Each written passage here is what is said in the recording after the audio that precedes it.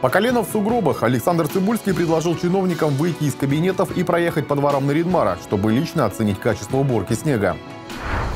Жертва авиакатастрофы. В Архангельске скончался еще один пассажир рейса на Харуту. 868 тонн мяса в убойном весе. В Ненецком округе завершается кампания по заготовке оленины. Здравствуйте с обзором основных событий этого дня в студии Иван Никонов.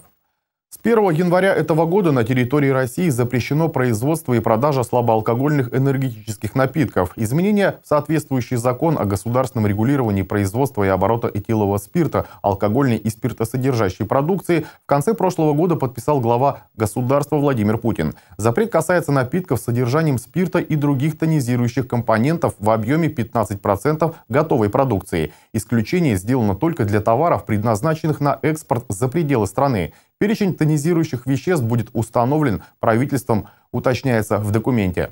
Этот же закон запрещает с 1 января розничную продажу спиртосодержащей пищевой продукции, в том числе дистанционным способом, а также продажу через торговые автоматы. По мнению активистов федерального проекта «Трезвая Россия», в Ненецком округе подобный закон нужно было ввести давно, ведь в России выросло уже целое поколение молодежи, не представляющих своей жизни без слабоалкогольных напитков. Также молодежь, когда находятся под воздействием да, вот этих вот алкоэнергетиков, они становятся агрессивными. То есть э, огромное число преступлений связано именно с тем, что они, э, молодежь находится под воздействием этих э, энергетиков. Также э, увеличивается рост сердечно-сосудистых заболеваний. И э, также еще хочется отметить, что большое число э, ранней смерти, смертности вот именно, именно от этих вот алкоэнергетиков.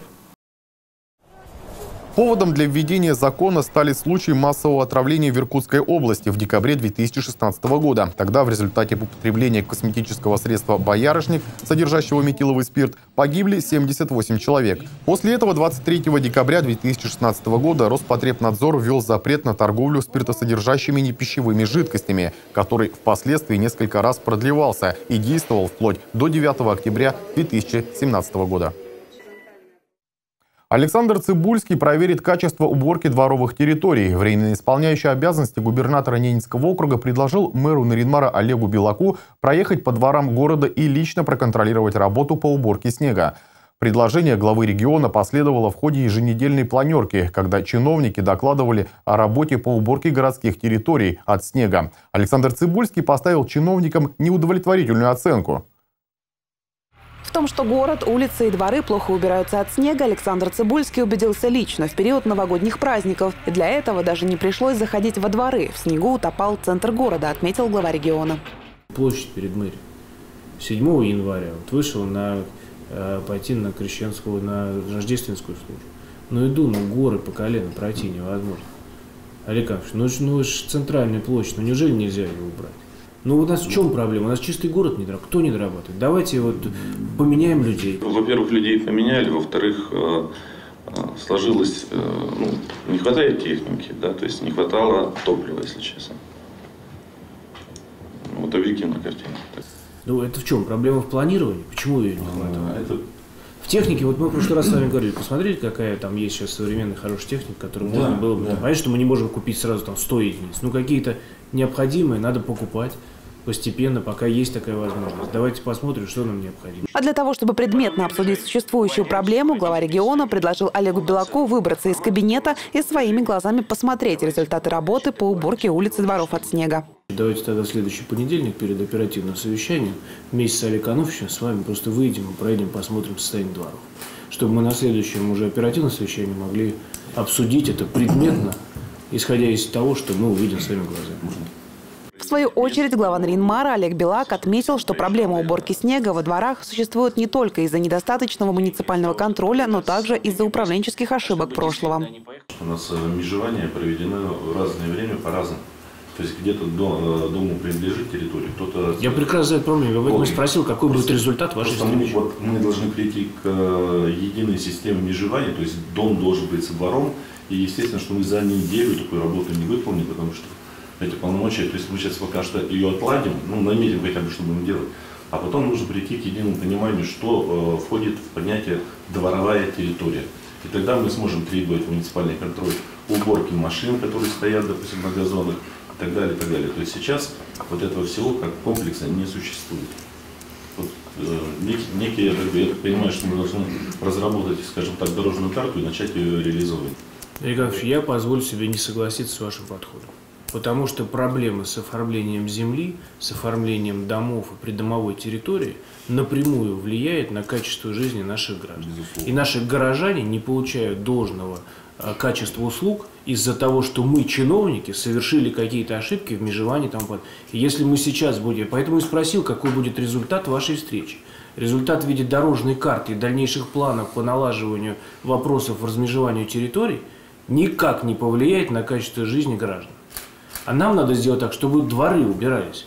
И этот результат нужен нам сегодня, подытожил обсуждение Александр Цибульский. Поездка главы региона и представителей муниципальной власти Наринмара по дворам окружной столицы запланирована на ближайший понедельник. Ирина Цепетова, Леонид Шишилов, Дмитрий Лукевич, телеканал «Север». Сегодня скончался еще один пассажир самолета ТВС-2МС. Игорь Кириллов ушел из жизни в 13 часов в среду, сообщили в Департаменте здравоохранения, труда и социальной защиты населения Ненецкого округа. Напомню, самолет ТВС-2МС потерпел крушение в аэропорту Нарьян-Мара 19 декабря 2017 года. На борту находилось 11 пассажиров и два члена экипажа. В катастрофе погибли два взрослых пассажира и четырехлетний ребенок. Скончавшийся сегодня Игорь Кириллов стал четвертой жертвой трагедии. 23 декабря прошлого года Игорь Кириллов был направлен из Ненецкой окружной больницы в Архангельскую областную клиническую больницу. По словам областных докторов, в результате катастрофы 32-летний пассажир получил тяжелые множественные травмы. Похороны Игоря Кириллова пройдут в Наринмаре. Организацией доставки груза 200 из Архангельска в Наринмар займутся специалисты профильного окружного департамента. В настоящее время в архангельских медицинских учреждениях проходит лечение 6 пострадавших в авиакатастрофе. Еще и двое находятся в реанимационном отделении НИИ скорой помощи имени Склифосовского в Москве. Пострадавшим и семьям погибших в авиакатастрофе перечислены выплаты. По распоряжению временно исполняющего обязанности губернатора Ненецкого округа из резервного фонда администрации региона перечислены 13 миллионов рублей семьям погибших и пострадавшим в авиационной катастрофе. Кроме окружных властей, материальную поддержку семьям оказали администрации Наридмара и Заполярного района. Они перечислили по 250 тысяч рублей семьям и погибших и 200 тысяч рублей семьям пострадавших в результате трагедии. Депутаты окружного собрания разработают план мероприятий на наступающий тематический год. Напомню, в конце 2017 года временно исполняющий обязанности губернатора Ненецкого округа Александр Цибульский объявил 2018 год в регионе годом оленеводства. Тема была определена путем народного голосования. На первом в новом году оперативном совещании депутаты регионального парламента обсудили вопрос о разработке плана мероприятий, приуроченных к году оленеводства. По мнению депутатов регионального парламента, развитие оленеводства остается главным условием сохранения традиционного образа жизни коренных малочисленных народов Севера, поддерживает остальные промыслы северных народов и нуждается в особой поддержке. Как отметили депутаты, в округе есть ряд проблем, требующих дополнительного изучения и проработки. В их числе дефицит квалифицированных кадров и отсутствие интереса молодежи из числа коренных и малочисленных народов к традиционному хозяйствованию, отсутствие современных мощностей по глубокой переработке продукции оленеводства. Также ежегодно возникает проблема незаконного отстрела оленей на территории Ненецкого округа и Архангельской области. По итогам обсуждения парламентарии решили при формировании плана мероприятий пригласить к сотрудничеству и государственные и общественные структуры для выявления вопросов, которые можно решить законодательно, в том числе и на федеральном уровне. В Ненецком округе завершается убойная кампания. По информации Департамента природных ресурсов, экологии и АПК НАО, на сегодняшний день убой в регионе выполнен на 80%. Всего в оленеводческих хозяйствах заготовили 868 тонн 700 килограммов мяса в убойном весе. Для этого на убой было направлено 28 300 голов северных оленей. В целом убойная кампания проходит в плановом режиме и близится к завершению. На сегодняшний день убой проводят СПК «Ижемский оленевод» и компания, СПК «Дружба народов» и СПК «Индиго», а также ведется убой частного поголовья в целях реализации сельскому населению. В СПК «Рассвет Севера» убой перенесен на конец января. Завершилась кампания на сегодня в СПК «Нарьяна-Ты», СПК «Харп», СПК «Восход», СПК «Путь Ильича», СПК «Красный Октябрь», ГУП НАО «Ненецкая промышленная компания», СПК «РК Заполярье», СПК «Коопхоз Ерв», СКПК «Ненецкая община Канин». По информации профильного департамента, с учетом физического состояния оленей и неблагоприятных погодных условий для подгона оленей к убойным пунктам, ряд хозяйств в этом сезоне скорректировали свои плановые показатели на убой в сторону уменьшения количества оленей. В некоторых хозяйствах упитанность оленей несколько ниже обычных показателей, поэтому плановые объемы заготовки продукции были также уменьшены. Как пояснили в одном из основных мясоперерабатывающих предприятий округа, акционерном обществе мясопродукты, снижение объемов заготовки оленины не должно повлиять на работу мясокомбината. Предприятие планирует закупить необходимые объемы за счет дополнительных поставщиков, частных хозяйств. Кроме того, на начало вывоза сырья с убойных пунктов в рамках текущей кампании в холодильниках мясокомбината остается еще 100 тонн оленины с прошлого убоя. Таким образом, жители региона будут обеспечены полным ассортиментом продукции из оленины местного производства в течение этого года. Смотрите далее в нашем выпуске. Новогодние сюрпризы. Студия мебели «Клевер» провела для своих клиентов розыгрыш ценных призов.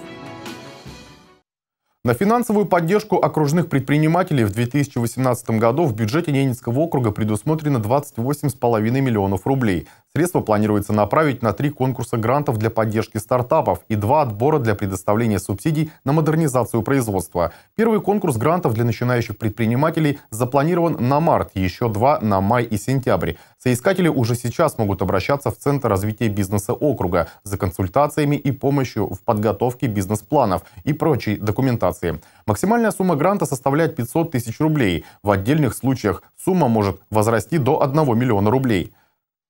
Заявки на компенсацию затрат в связи с приобретением нового оборудования начнут принимать в апреле. Этот вид субсидий распространяется на конкурсной основе. Сумма субсидий до 1 миллиона рублей. Она позволяет возместить до 60% расходов. В течение всего года без конкурса от представителей бизнеса принимаются заявки еще на ряд субсидий. На приобретение сырья и материалов для народных традиционных промыслов, на уплату процентов по кредитным договорам или договорам лизинга, на развитие групп по присмотру и уходу за детьми дошкольного возраста, на подготовку, переподготовку и повышение квалификации кадров. Всего на гранты и субсидии в казне региона заложено 18,5 миллионов рублей. Еще 10 миллионов рублей предусмотрено на микрозаймы. Микрофинансовые услуги на льготных условиях субъектам малого и среднего бизнеса оказывает Центр развития бизнеса Ненецкого округа. Также в 2018 году Ненецкий округ планирует привлечь федеральные средства на развитие инфраструктуры поддержки бизнеса и на содействие молодежному предпринимательству. Сотрудниками полиции по горячим следам раскрыто хищение около 500 литров дизельного топлива. Преступление произошло в селе Оксино накануне Нового года. Благодаря действиям полиции и сотрудников склада горюче-смазочных материалов местного ЖКУ, откуда и было похищено дистопливо, удалось быстро найти преступников. Ими оказались двое жителей Наринмара.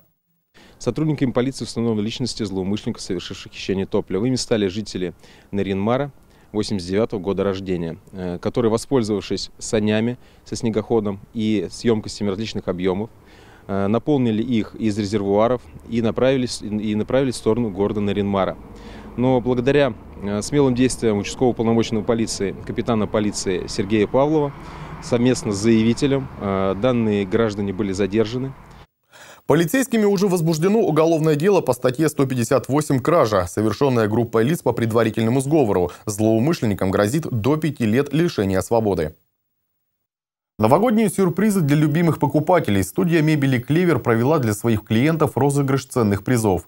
Пять победителей из 73 человек выбрали путем генератора случайных чисел. О тех, кому повезло, расскажет Любовь Пермякова. Так. Так, закрутили, закрутили. Скидка 20%. Ура!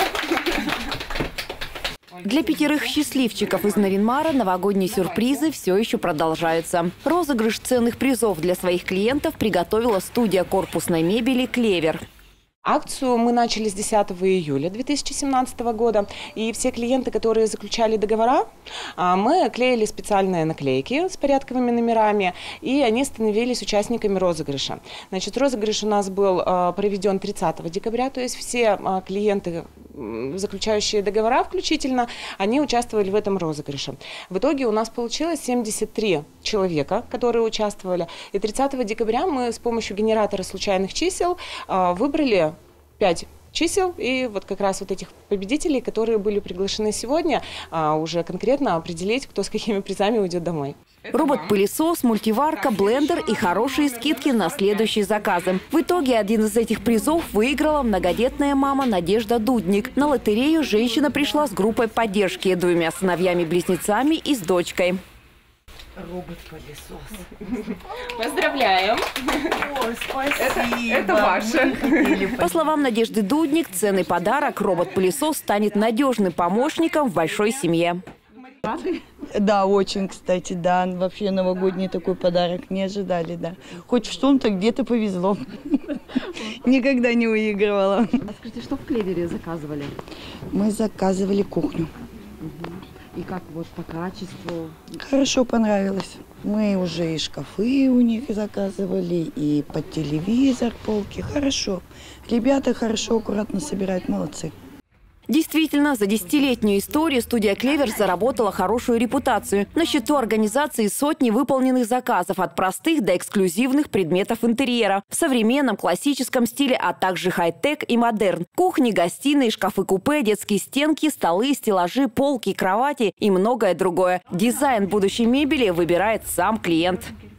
Здесь мы уже а, делаем именно под вас мебель, чтобы вам было удобно. Сколько вам нужно полок, сколько вам нужно ящиков, какой цвет вы хотите выбрать, да, какие размеры. Это все мы делаем конкретно именно для вас. Устанавливая на протяжении нескольких лет мебель по индивидуальным заказам, сотрудники студии «Клевер» заслужили доверие у жителей округа, наработали богатую клиентскую базу. И сегодняшний розыгрыш – это еще один повод поблагодарить их за выбор и в очередной раз прислушаться к пожеланиям покупателей. Любовь Пермякова, Владислав Носкин, телеканал «Север».